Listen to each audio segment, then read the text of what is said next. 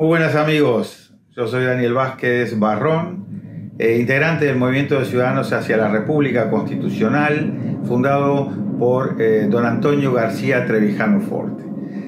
Eh, habíamos quedado en que la garantía de la libertad, según lo que había encontrado Montesquieu al analizar el sistema político británico, era la división del poder. Él llegó a la conclusión, la, magistral conclusión de, de Montesquieu, es que la garantía de la libertad está en dividir el poder.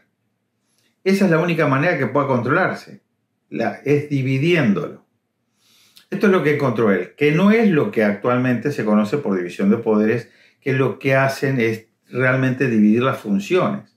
Pero todos sabemos perfectamente que normalmente los gobiernos necesitan tener mayoría en el Parlamento, porque se dice que si no, no son gobiernos estables, necesitan cierta estabilidad.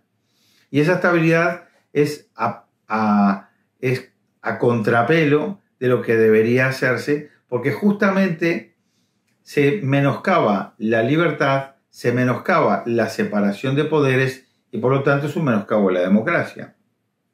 Constant se dio cuenta enseguida. Constant fue tal vez el primero que se dio cuenta de que si los poderes ilimitados se concertan, se acuerdan entran en un consenso, no estamos en los albores de la tiranía, que es justamente lo que ocurre.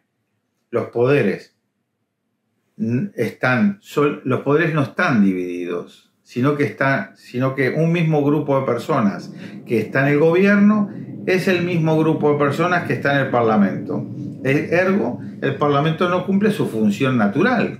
La función natural del Parlamento es primero que nada, controlar al Ejecutivo, porque es el que tiene monopolio legítimo de la violencia, es decir, la fuerza bruta. Entonces lo tiene que controlar. Y todo poder tiende a expandirse.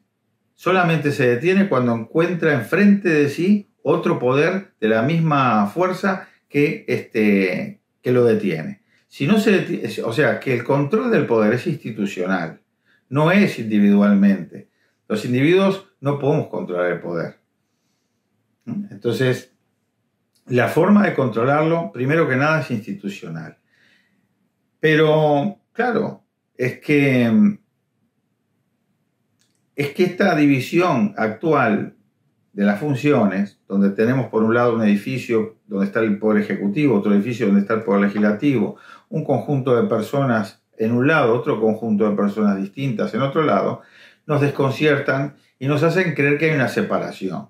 Pero en realidad ambos grupos de personas están de acuerdo y funcionan porque lamentablemente funciona así porque se vota partidos, no se vota a las personas. Si cada distrito enviara un diputado por cada distrito, entonces esos diputados sí podrían controlar porque esos diputados estarían pagados su salario por el mismo distrito que los envía como representantes.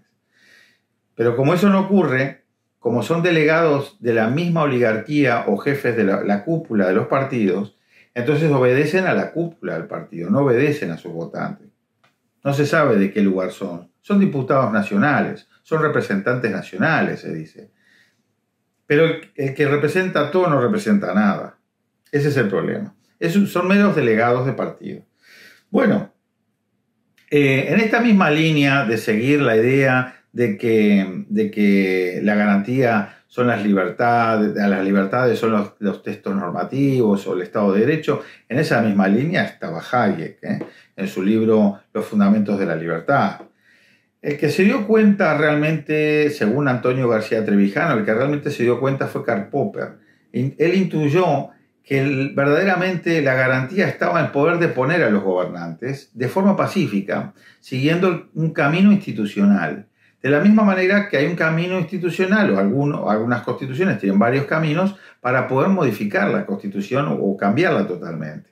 Entonces, sin necesidad de llegar a la violencia, se puede lograr cambiar la constitución, se puede también lograr deponer a los gobernantes que era justamente el sentido de la pregunta del periodista Carlos Torres Martínez a este, Ricardo Belmont Casinelli, que era lo que estábamos comentando. Bueno, eh, Así que Constant entonces fue el que se dio cuenta. Y debemos darnos, debemos darnos cuenta de que efectivamente la, la separación de poderes es la garantía, porque esa es la democracia. El objeto de la democracia es garantizar la libertad política originaria. Es decir, hay una voluntad que es la voluntad originaria, que es la de la voluntad de hacer, que es lo que se denomina libertad constituyente. Esa libertad de acción creadora, esa potencia creadora, es la que crea eh, el poder de la libertad política en el Estado. Es la que genera esos dos poderes. Pero está generado por la potencia, la potencia creadora, la potencia que es esa voluntad de hacer que es de la comunidad. Es necesario, por eso, lograr la hegemonía política, la hegemonía cultural, en el sentido de que en un momento determinado se haga necesario, incluso con movilizaciones pacíficas, eh, la apertura de un periodo de libertad constituyente, no un periodo constituyente a seca simplemente, porque eso es lo que han hecho las dictaduras, lo que hacen las oligarquías. En definitiva, terminan ellos con sus delegados haciendo la constitución a su medida. Nosotros queremos abrir un periodo de libertad constituyente, donde esa, esa voluntad de hacer eh, sea la, la creadora de una constitución. Que eso es lo que no permite la voluntad de poder de los gobernantes, que está enquistada en el Estado. Esa voluntad de poder de los gobernantes ha impedido sistemáticamente, ha debilitado, ha menoscabado el poder retornar a la voluntad originaria, a la voluntad de hacer, a esa, a esa potencia creadora. Lo ha impedido, constantemente lo impide. ¿Por qué? Porque nos engañan a través de delegados, por ejemplo, si se forma una asamblea constituyente, se, eligen diputados que son constituyentes, pero son diputados de partido, siguen siendo delegados de partido y están a las órdenes de los jefes de partido. Así que la, la, el, el quid de la cuestión está en poder romper el muro que nos han hecho, romper ese muro y poder volver a la voluntad originaria, a la voluntad creadora.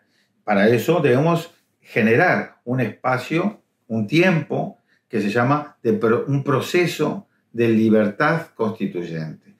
Y de ahí, lógicamente, al ser nosotros los que creamos nuestra constitución y no nos la crea la oligarquía, vamos a poder crear las, las, formas de poder controlar entre sí, hacer controlar esos poderes.